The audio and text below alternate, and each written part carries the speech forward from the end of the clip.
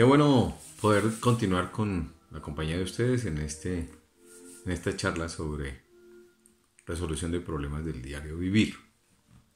En la sesión anterior vimos qué es un problema y observamos un video con la transformación de un problema en una oportunidad.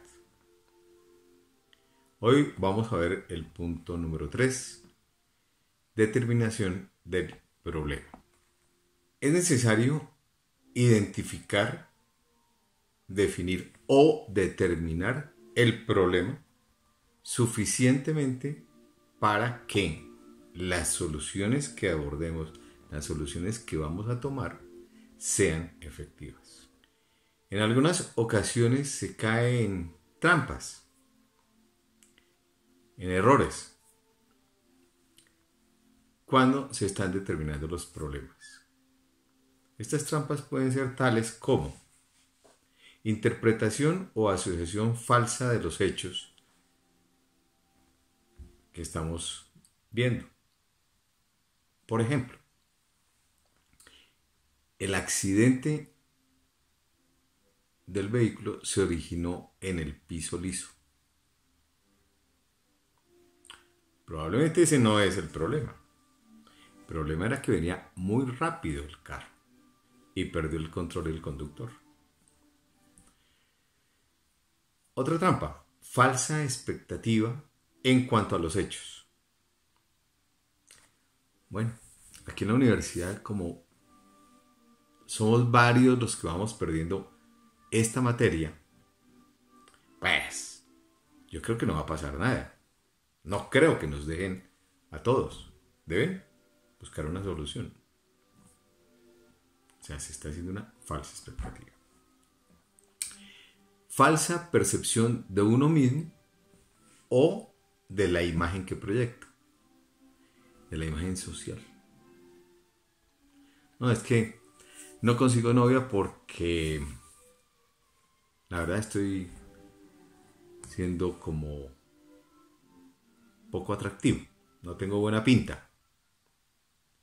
Entonces, ese es un inconveniente.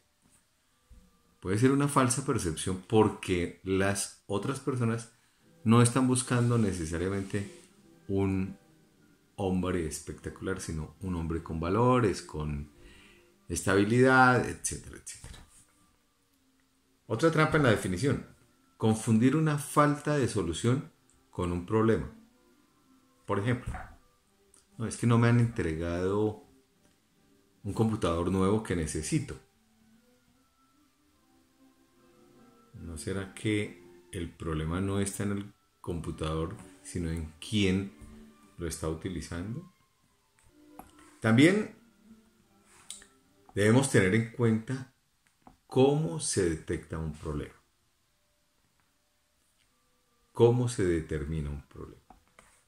En muchas ocasiones es por la desviación con relación a una experiencia anterior. No sé por qué aquí en la universidad voy así, si en la primera parte de esa materia en el primer corte me iba bien. No entiendo por qué ahora no. ¿Cómo se detecta también un problema? Por la desviación con relación a un plan establecido. Yo iba a ahorrar el 10% mensual de mi sueldo desde comienzo de este año. Ahora que hago cuenta, voy en el 5%. Algo ahí, ahí para que no esté logrando llegar a ese plan establecido, a cumplirlo. Otras personas avisan del problema. Entonces, por ejemplo, voy por la calle en mi carro y alguien me avisa que voy con una llanta desinflada, que está pinchado el carro. Otras personas presentan problemas similares. Eh, bueno, sí, varias personas, compañeros del semestre, van perdiendo también la materia. Por algo será. Hay cambios en el ambiente, en el entorno. Pues sí, están llegando personas nuevas aquí a trabajar con nosotros. Eh, hay nuevos profesionales, llegan con otras ideas. Pues puede que haya un inconveniente en lo que estamos haciendo hasta ahora. Se puede optar por el siguiente método para identificar un problema. A. Definir claramente el problema. B. Determinar quiénes están involucrados. C. Cuáles son los síntomas, efectos y causas. D. Cuál es la línea de tiempo de ocurrencia. Y E. Cuáles son los resultados. Vamos a ver cada uno de estos en detalle. A. Definir claramente el problema. Entonces hay que pensar cuáles son los obstáculos, cuál es el problema. Había ejemplo, no tengo dinero suficiente, no logro salir de las deudas o cada vez debo adquirir nuevas obligaciones. ¿Es un problema aislado o forma parte de otro problema más grande? Mm, ¿qué hago? Es que el dinero, debe haber alguna cosa adicional porque el dinero no me alcanza. Es un problema grande con varios problemas menores.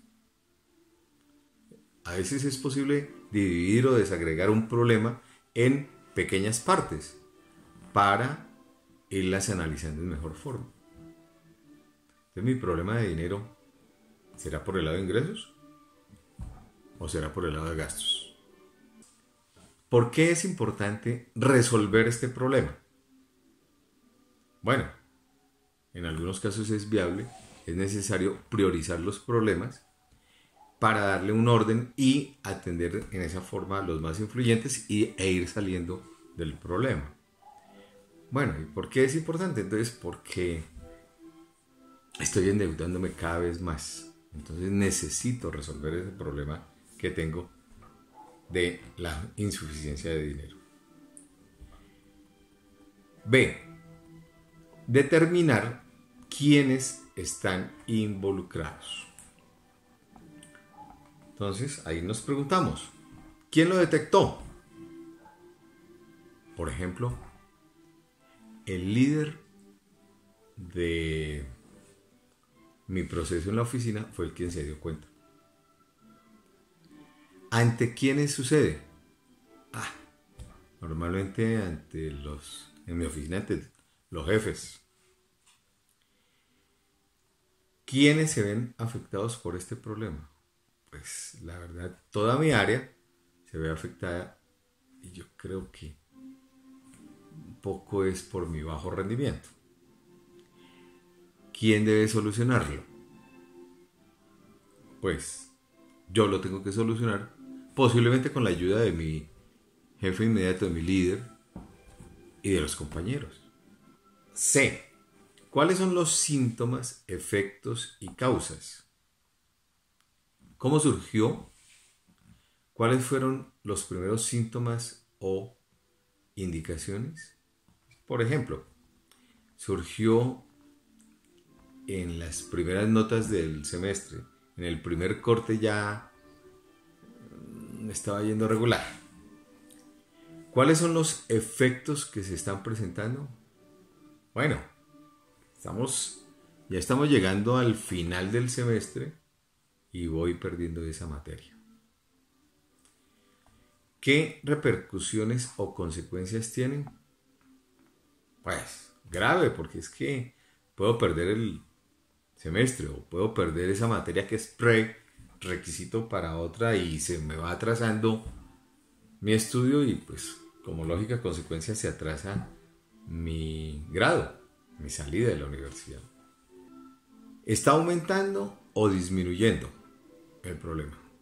Mm, pues entre más pasa el tiempo se va aumentando, porque si en el primer corte me iba más o menos, en el segundo ya mal, y no hago el esfuerzo, pierdo la batería, no veo la otra, es decir, cada vez se va aumentando más el problema. ¿Se conocen las causas de este problema? Bueno, es posible, hay cosas que me explican que no entiendo. ¿Se tiene certeza de esas causas? Mm, bueno, sí, pero es que a veces puede ser el método, etc. Entonces, el hacerse todas esas preguntas de los síntomas, de los efectos y de las causas, puede ir ayudándonos a definir adecuadamente cuál es el problema. Punto D de esta herramienta dice, ¿cuál es la línea de tiempo de ocurrencia? ¿Cuándo inició? Bueno, por ejemplo, desde el cambio de administración hace seis meses con la llegada de los nuevos jefes empezamos a ver problemas de mi desempeño. ¿Es la primera vez que ocurre o es frecuente? Bueno, ahora es frecuente. Antes no ocurría. Si es frecuente, ¿cada cuánto se presenta? Bueno, cada vez es lo mismo. No logramos cumplir con la fecha de entrega de los informes. E. ¿Cuáles son los resultados? Si se ha presentado antes, ¿qué se ha hecho para solucionarlo? ¿Por qué son marginales los resultados? Bueno, antes recortaba gastos si no me alcanzaba el dinero y ya, lo lograba solucionar. ¿Cuál es la situación actual? Mm, tengo deudas, no puedo salir, no puedo divertirme, no puedo ir con mi esposa a cenar. ¿Cuál es el resultado deseado? Bueno, ojalá disponer de dinero y estar tranquilo para poder hacer más cosas y para tener una mejor calidad de vida. ¿Qué beneficios se obtendrán con su solución? Ah, bueno, pues si lo logro, me quito estos problemitas de angustia, de salud. Seguramente voy a estar con mayor bienestar y voy a estar con una mejor relación en mi casa también. Si aplicamos esta metodología, podremos acercarnos a definir el problema en una mejor forma. Y podemos observar además que hay ciertas ayudas para esa definición del problema. Existen síntomas en la definición de un problema, pero que no son el problema.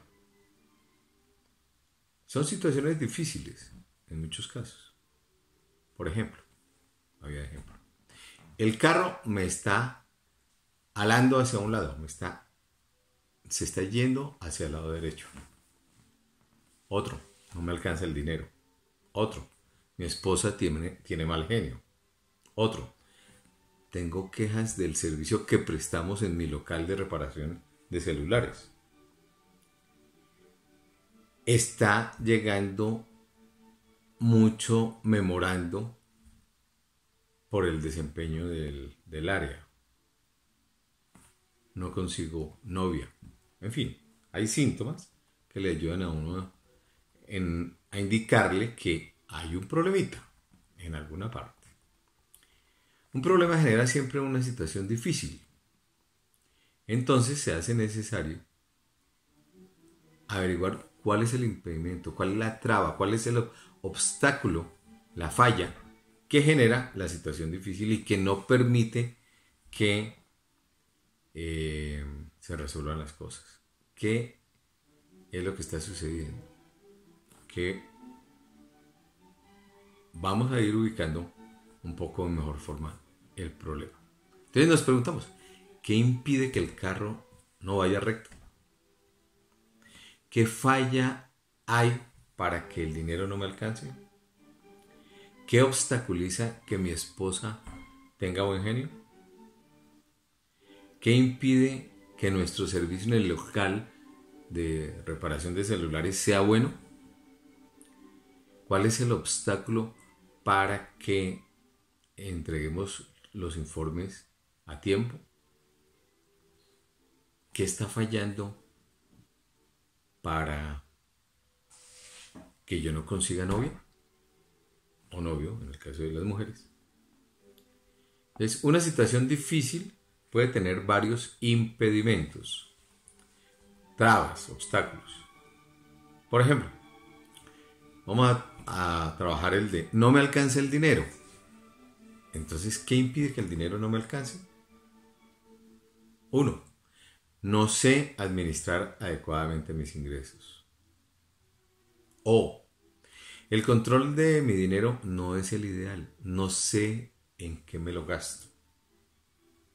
Tres, tengo muchos gastos inesperados. Surgen de un momento a otro. Otro, regalo mucha plata a otras personas. Cinco, tengo muchas deudas. Otro, realizo muchas compras de un momento a otro. Otro, gasto más de lo que me gano y otro que a veces ni lo pensamos. No, es que juego mucho dinero. Insisto, se debe definir adecuadamente el problema y una vez que crea tener ya dicha definición, debo volverla a evaluar, debo volverla a poner como en duda y debo volverla a analizar. Y antes de identificar cuál sea la solución o cuál sería la buena solución, tengo que determinar qué quiero lograr, cuándo lo quiero lograr, por qué lo quiero lograr, para qué quiero lograrlo, etc. Vamos a ver un video de un famoso artista actual, Anuel. Y vamos a ver cómo compra un poquitico desaforado. Nos continuamos viendo en el próximo en la próxima sesión. Muchas gracias.